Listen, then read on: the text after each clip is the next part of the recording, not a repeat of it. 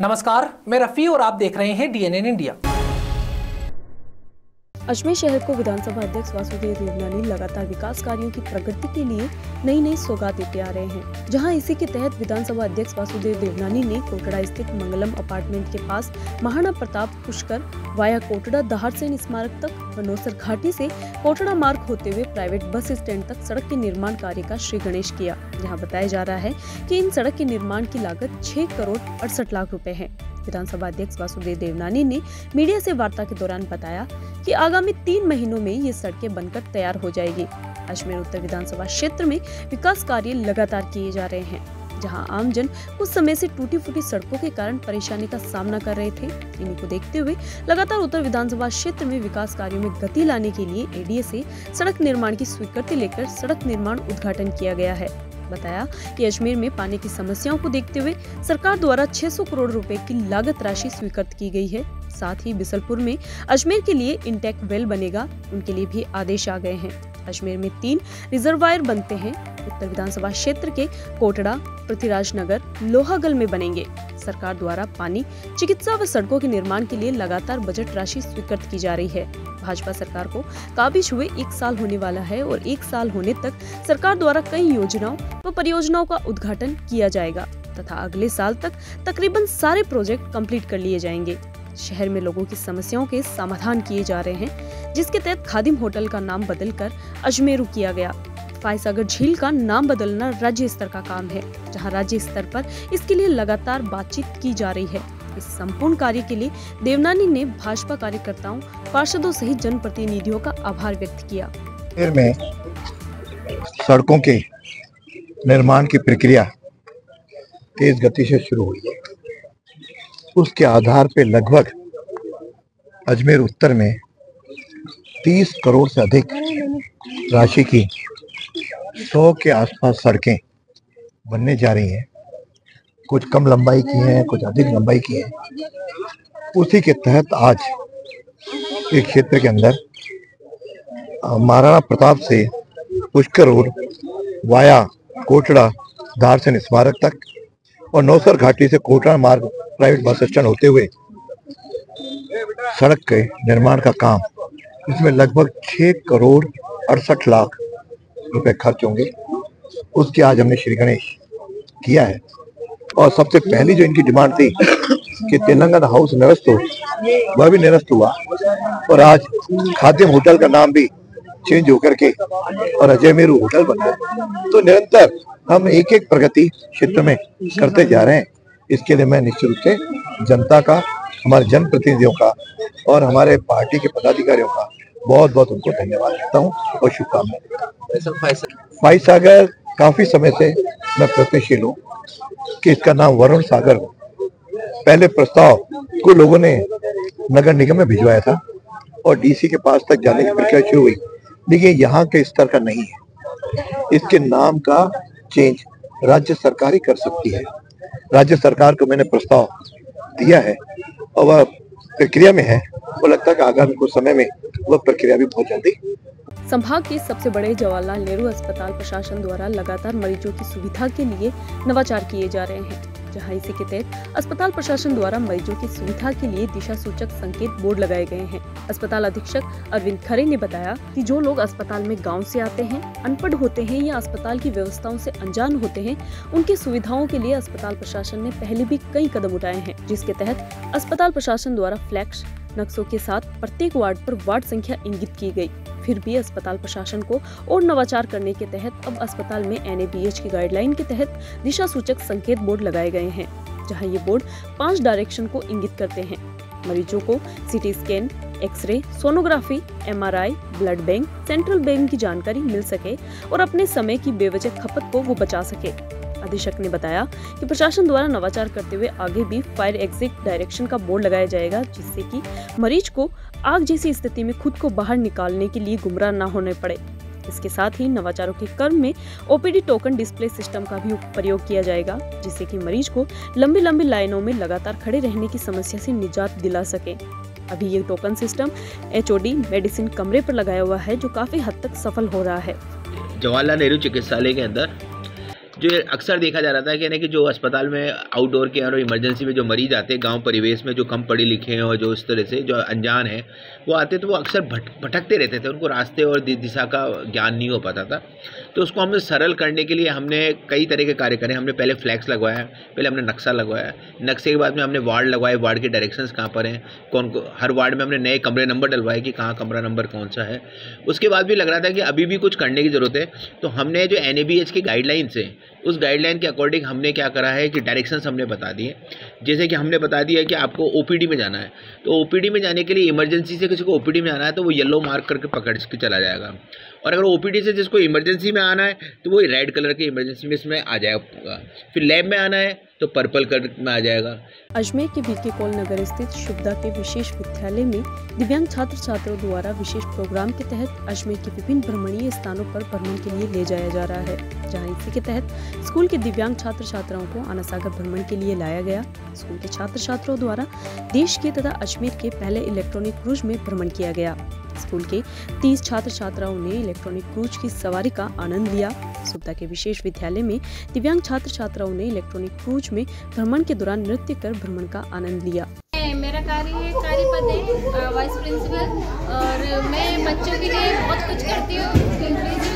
बच्चों को प्रोग्राम में लेके जाता है, जैसे समाज में, इनको हीन भावना से देखने के कारण हम लोग इनको इंजॉय कराते हैं, ताकि कोई हीन भावना से देख नहीं सके इनको। और हम स्कूल में इनका बहुत ख्याल रखते हैं, बहुत साथ हमारे साथ इंजॉय करते हैं ये लोग। और बहुत, जो बच्चे नॉर्मल बच्चे कर सकते हैं ये भी कर सकते हैं ये बच्चे जो आज भी लाए हो आप लोग? आज हम क्रूज में घूमने लाए हैं इनको जो आना सागर में अभी स्टार्ट हुआ है और किसी ने इनको बुलाया बच्चों को कि हमारे साथ घूमने आए हैं बच्चे इंजॉय करें। जहाँ से आए हैं, शुभा के बच्चे हैं। इंक्लूसिव प्रोग्राम चलता है, जिसके तहत हम जगह जगह जाते हैं बच्चों को इंक्लूसिव प्रोग्राम में। आज भारत के पहले इलेक्ट्रिक क्रूज के अंदर अजमेर के अंदर हम लेकर आए हैं बच्चों को, इसमें बच्चे बहुत मज़े कर रहे हैं। आज पहली बार ऐसा उन्होंने चांस दिया है। घर वाले जो बाहर नहीं लेके जा सकते, बच्चों को पहला चांस यहाँ पे मिला है तो हम बहुत ही आभारी हैं सबके सब के और हम बहुत खुश भी हैं कि बच्चे यहाँ पर आके बहुत इंजॉय करते हैं। तुम किस तरह के बच्चे और टोटल कितने बच्चे लेके आए जिनको आज भ्रमण कराया है? आज हमारे स्कूल से तीस बच्चे आए हैं। यहाँ रुकते हैं छोटे से ब्रेक के लिए। जल्द हाजिर होंगे खबरों के नए सफ़र के साथ।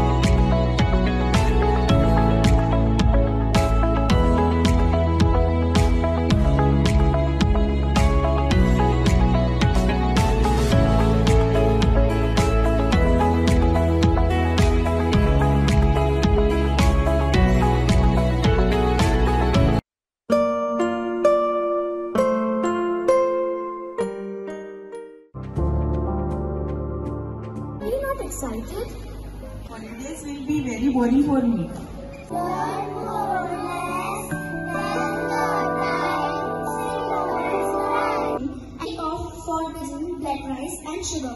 This black rice has a very unique flavor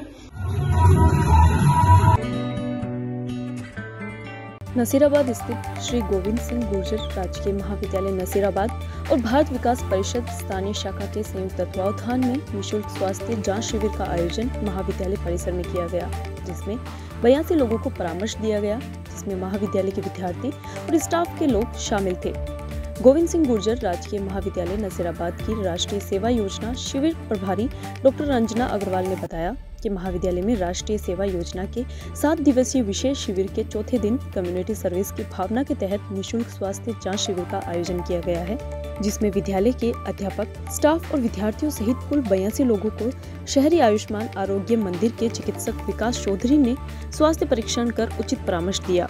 तथा आवश्यकता अनुसार उन्हें निःशुल्क दवाएँ भी उपलब्ध करवाई गई। स्वास्थ्य परीक्षण के दौरान विभिन्न जांचों के साथ सामान्य मौसमी बीमारियों से संबंधित दवाइयाँ भी शिविर के माध्यम से निशुल्क वितरित की गई। शिविर का शुभारंभ माँ भारती और स्वामी विवेकानंद के चित्रों के समक्ष दीप प्रज्वलित कर किया गया।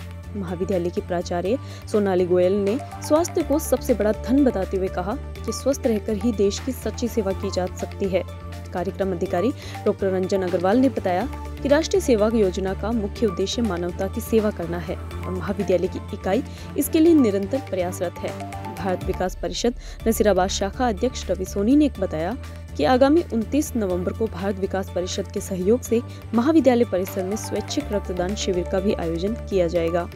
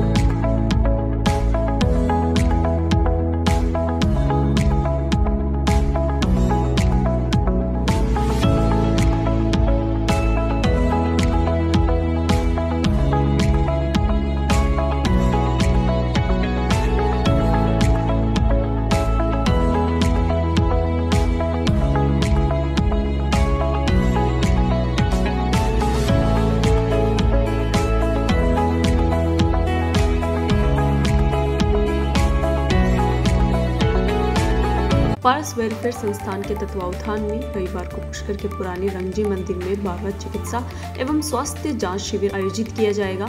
शिविर में अजमेर जैलिन के वरिष्ठ चिकित्सकों के साथ साथ अमेरिका व अप्रवासी भारतीय डॉक्टर्स द्वारा हाई बीपी, डायबिटीज़, कोलेस्ट्रॉल, स्तन कैंसर, चर्म रोग, अर्थराइटिस, पाचन आदि बीमारियों के रोगियों की निशुल्क जाँच की जाएगी। साथ ही मरीजों की जाँच रिपोर्ट देकर उपचार के लिए परामर्श देंगे। संस्थान के सचिव सत्यनारायण पालड़ीवाल ने शुक्रवार को प्रेस वार्ता में शिविर की विस्तृत जानकारी देते हुए बताया, डॉक्टर्स आवश्यकता होने पर मरीजों को उपचार के लिए उचित परामर्श देंगे। इसके अलावा विभिन्न रोग विशेषज्ञ शिविर में सेवाएँ देंगे। अध्यक्ष ईश्वर डीडवानिया ने बताया कि शिविर सुबह 9 बजे शुरू होगा तथा शाम 4 बजे तक चलेगा। इस दौरान जरूरतमंद मरीजों को निशुल्क दवाइयाँ दी जाएगी। उन्होंने मरीजों से पुरानी जाँच रिपोर्ट साथ लाने को कहा। जैसे हम पहले ग्यारह साल भी हमने किया है ये कैंप हम करते हैं अपने सेवा सेवा उद्देश्य के हिसाब से करते हैं। और ये बारहवा साल होगा हम ऐसा सेवा उद्देश्य के लिए कैंप कर रहे हैं। इस कैंप में हम सभी जाँच करेंगे ब्लड प्रेशर डायबिटीज़ हार्ट की कोई बीमारी हो और उसके अलावा किसी को डाइजेशन की प्रॉब्लम हो आर्थराइटिस और इस बार हम दो स्पेशल प्रोविज़न भी रख रहे हैं कि हमारे साथ डॉक्टर लैला अग्रवाल होंगी। ये कैंसर स्पेशलिस्ट हैं और ख़ास करके स्तन कैंसर के लिए अमेरिका में अच्छी स्पेशलिस्ट हैं। ये भी जाँच करेंगी और सलाह देंगी। उसके साथ साथ जे एल एन हॉस्पिटल से डर्मेटोलॉजी जो चर्म रोग है ना, उसके भी स्पेशलिस्ट होंगे। पहली बार, ये भी पहली बार हो रहा है। और हम ये सेवा प्रदान करेंगे 9 बजे से 3 बजे तक दोपहर को 24 नवंबर। और यहाँ पुराना रंगी मंदिर में होगा, जैसे हमारा पहले भी कैंप हुआ है। और ये ये सब सुविधा रंग रंगी मंदिर के खास जो अनंत प्रसाद जी गनेडी वाला हैं, उनकी कृपा से हो रहा है और सब तरह के साधन होंगे मरीजों के लिए और जो भी जाँच पड़ताल हो सकती है वो हम करेंगे। उसके अलावा दवाइयाँ भी देंगे। जिन लोगों को गरीब लोग हैं जिन लोगों को दवाइयों की सुविधा नहीं है उनको हम खास खास दवाइयाँ वो भी प्रदान करेंगे। ब्रेस्ट कैंसर कभी कभी शुरू में खाली गांठ में हो सकता है और कुछ प्रॉब्लम नहीं होती। गांठ में दर्द भी नहीं होता है। तो इसलिए बहुत ज़रूरी है कि अपने जो जनाना लोग बाग हैं वो अप, अपनी ब्रेस्ट को फील करें। और अगर कोई गांठ नज़र आए तो तुरंत जाँच करवाएँ। और ये बोल रही हैं, यहाँ पे इंडिया में अपने स्क्रीनिंग इतना अच्छी तरह से नहीं होता है। वहाँ अमेरिका और विदेशों में तो मेमोग्राम या एक्सरे लेते हैं ब्रेस्ट का, उससे जाँच हो जाती है। तो यहाँ भी अगर जिन जनाना लोगों को तकलीफ़ हो गांठ वाँठ हो तो उसका इमीजिएट जाँच करानी चाहिए। क्योंकि अगर शुरू में जांच करा लें तो उसका इलाज बहुत अच्छी तरह हो सकता है Um, yes, so it's very exciting to be here and to participate in this health fair for the first time. Uh, breast cancer is a common cancer among women, and it's very important that women understand the signs of breast cancer. And I hope to be able to give education about breast cancer this year. Uh, what is the difference between the America and uh, India about the women, in the, especially in the breast cancer? Well, it's very important to be aware of your body, and um, I think there might be some differences in the understanding of screening and catching breast cancer very early. And so, um, knowing the signs of breast cancer is an important first step in diagnosing. What is the primary symptom of the, this uh, breast cancer? Sometimes breast cancer may present with a lump in the breast, or a change of the skin or the shape, or enlargement of the lymph node. भारतीय संस्कृति में कला का बहुत ही महत्वपूर्ण स्थान है प्रत्येक व्यक्ति में कोई ना कोई कला होती है कला समाज में सम्मान व जीवन जीने का ज़रिया बन सकती है। कथा कहें तो कथक कहलाए कथक नृत्य भारत का शास्त्रीय नृत्य है और कथक शब्द का अर्थ कथा को नृत्य के रूप में प्रस्तुत करना है।